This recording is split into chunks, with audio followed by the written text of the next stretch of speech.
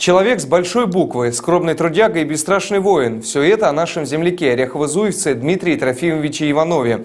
До войны работал на респираторе, после победы вновь вернулся к станку. О том, что он носил звание Героя Советского Союза, знали только близкие и коллеги. Сам Дмитрий Трофимович никогда этим не кичился. Сегодня серия репортажей «Наши герои. Наша победа» будет посвящена именно ему.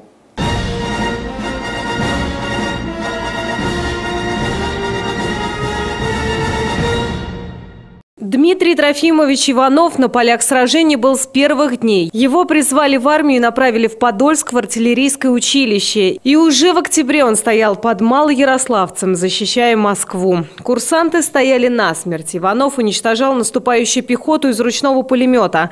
Врагу удалось прорваться. Передний фашистский танк шел с красным знаменем на башне.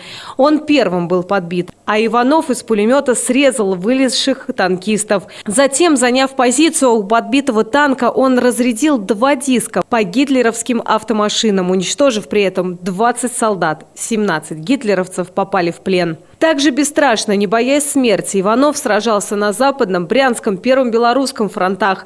За эти огненные годы участвовал в освобождении городов Брянска, Жлобина, Ковеля, Хельма, форсировал реку Западный Буг. В ночь на 29 июля 1944 года умело организовал переправу батареи на левый берег реки Вислы, где красноармейцы создали плацдарм в районе города Пулавы, Польша. Артиллеристы под его командованием участвовали в отражении пяти контратак пехоты пехоты и танков противника.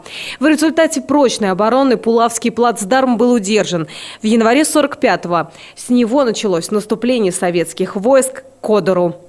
Указом Президиума Верховного Совета от 25 сентября 1944 года за образцовое выполнение боевых заданий командование на фронте борьбы с немецкими захватчиками и проявленной при этом отвагу и геройство капитану Дмитрию Трофимовичу Иванову было присвоено звание Героя Советского Союза с вручением ордена Ленина и медали «Золотая звезда».